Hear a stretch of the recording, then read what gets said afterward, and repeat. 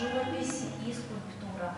А, Это коллективная выставка, повторюсь, художников, как и а, блокады, художников военных, художников, так и молодых, современных. А, Она показывает отношение к войне и а, как в прошлом, так и сегодняшний день. Да? Я вот не знаю, кого что смотреть. Написали красного. Вот.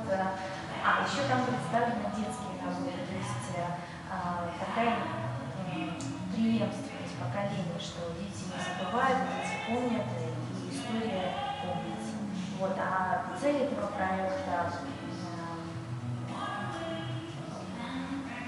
показать неизменное отношение к победе, а, показать историю, а, пока живы те люди, которые видели эту войну, пока живы а, ветераны, чтобы о них не забывали и помнили, какой ценой досталась